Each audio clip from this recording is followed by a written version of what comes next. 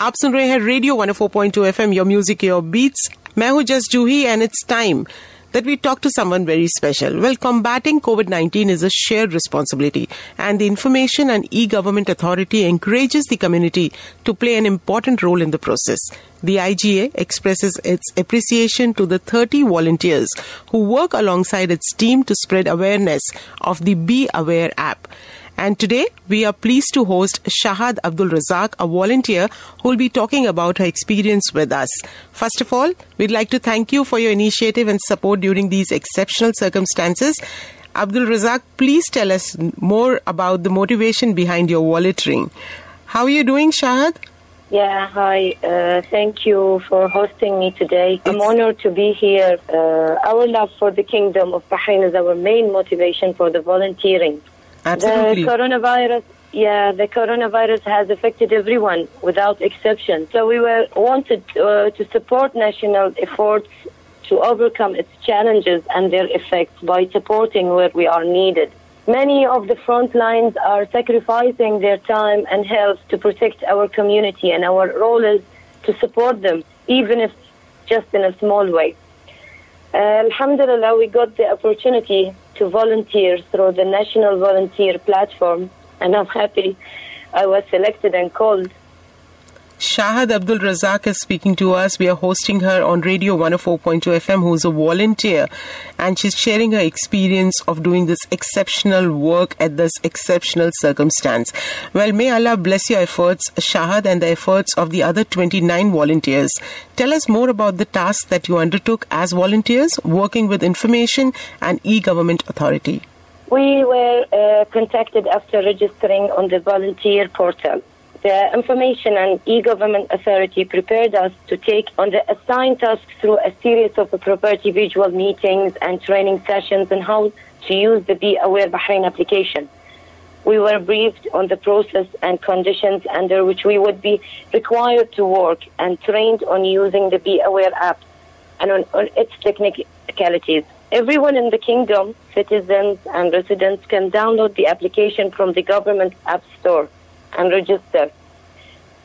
Several teams provide support to the app users briefly. The application is notifying individuals in the event they are approaching a location where an active case has been detected or if they were in close proximity with an active confirmed case. It also allows self isolation individuals to book their exit test appointment and highlight official local and international statistics on COVID 19 developments and notifications to the public. We are divided into three teams. Okay. The first team, located in Bahrain International Airport, assists people traveling into the kingdom by explaining how to download and activate the app and register in it by their ID card or passport number. The team briefs them on the features, explains how to use it during their self-isolation periods, and provides technical support to the administrative team with the arrival registration process.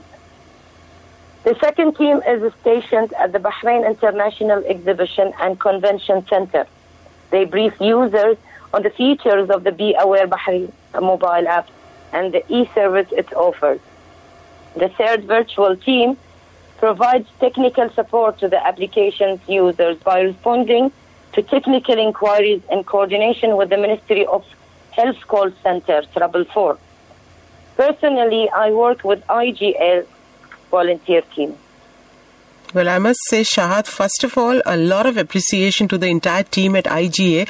Also, because the Be Aware app, we can't stop talking about it on Radio 104.2 FM, is such a, Yeah. an initiative which is, you know, so helpful for everyone who's using it getting the information. Now, this has become a habit when I leave home and I reach home back.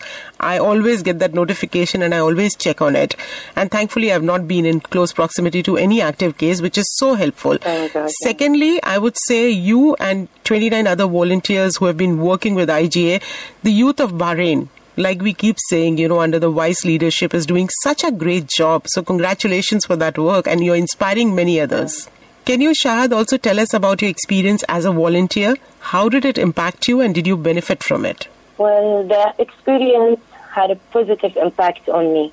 being a volunteer and helping to fight the separate of the coronavirus is a source of pride for me and my fellow volunteers. We feel content that we played a socially responsible role and contributed to protecting the nation. On a professional level, we gained new friends and colleagues and become acquainted with types of work that are different from our regular careers. We also got to see how the Information and E-Government Authority works and how Bahrain created such an innovative application. Absolutely. Very well said, Shahad. Shahad, there's no doubt that volunteer work, especially on a national level, benefits the community. What would you like to tell young people who are listening to you at this minute about the value of volunteer work? Many of you have a lot of free time and would undoubtedly like to return to your normal, normal routines going out with your friends to the malls and restaurants. So if you would like to return to your regular life faster, take any opportunity to volunteer and contribute to the community by helping it to overcome this pandemic. By supporting the community, you support yourself, your family, your friends and your country. By coming together, we can all play a part in helping the country to overcome this virus. Absolutely. Very well said. You're inspiring, like I said, millions who are listening to you and millions who will listen to you overall.